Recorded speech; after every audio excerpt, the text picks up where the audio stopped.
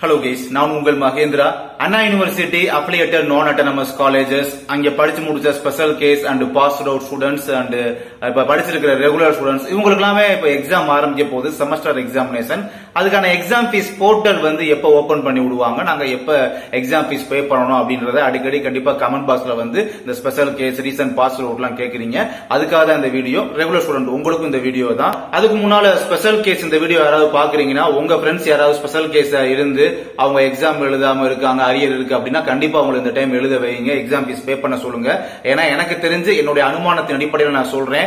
இனி special case எல்லாம் chance தர மாட்டாங்க எப்படியும் அடுத்த சான்ஸ் தரதா இருந்தா மூணு வருஷம் கூட ஆகும் அப்படின்ற மாதிரி என்னுடைய அனுமானத்தின் அடிப்படையில் நான் சொல்றேன். அதனால இந்த ஒரு சான்ஸை கண்டிப்பா யூஸ் பண்ணிக்கோங்க. ஓகே இப்ப எக்ஸாம் பாத்தீங்கன்னா டிசம்பர் ஃபர்ஸ்ட் வீக்ல ஸ்டார்ட் ஆகும்.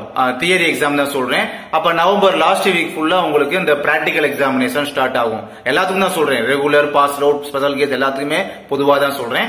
அண்ட் அப்ப உங்களுக்கான எக்ஸாம் ஃபீஸ் போர்ட்டல் வந்து பாத்தீங்கன்னா நவம்பர் ஃபர்ஸ்ட் வீக் எண்ட்ல வந்து கரெக்டா ஓபன் பண்ணிடுவாங்க.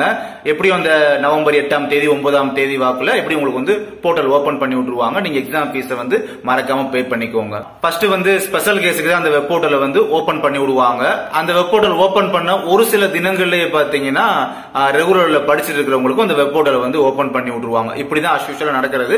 அதே மாதிரி இந்த டைமும் நடக்கும்.